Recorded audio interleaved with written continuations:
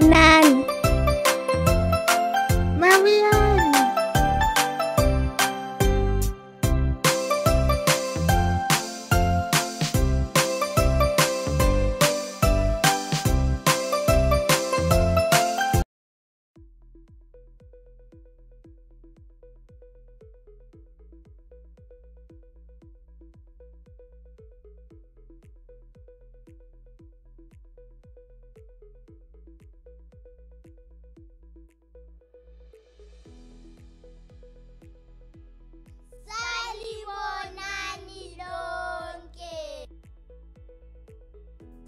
Salibonani, Moroi, Mabuyani. Welcome back to another fun episode of The Pollens with me, Langa. It is always a pleasure seeing you here. Salibonani, Mawaya, Mabuyani. Zimbabwe has 16 official languages. These are namely Chewa, Chibare, English, Kalanga, Khoisan, Nambia, Ndau, Ndebele, Shangani, Shona, Sign Language, Soto, Tonga, Tswana, Venda, and Xhosa. So today we are going to be doing a mix of the A, A, E, O, U, Ndebele or Isindebele vowels in a combination of phonics from A to Z. So, who's going to start us off? Mina.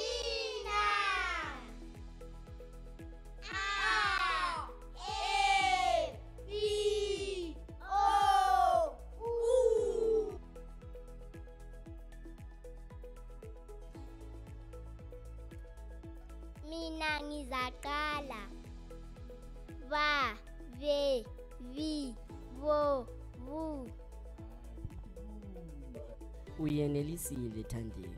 Ngubani ozalandela? Who is next? ca ce ci co cu Uyenelisile Luyando. Ngubani ozalandela? Da de di do du Uyenelisile Rapula. Ngubani ozalandela? fa fe fi fo fu Uyenelisile Nyasha. Ngubani ozalandela? ga ge gi go gu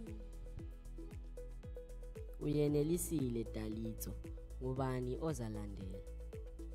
kha he hi ho hu Uyenelisile Milikani. Lonke lenelisile. Lingaqhubeka. ja je ji jo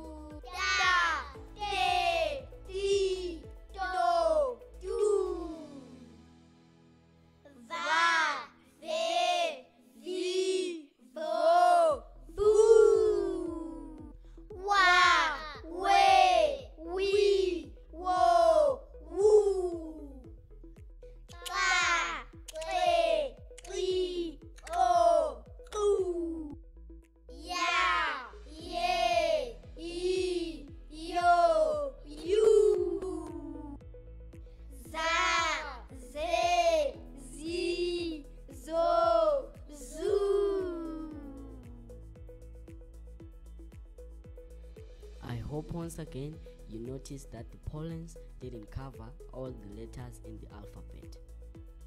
This is because in the Vele language there is no R in the phonological alphabet. Thank you for joining us today. Sizabonana tonana futhi. Bye. We are the pollen, small little flowers blooming on the sunshine every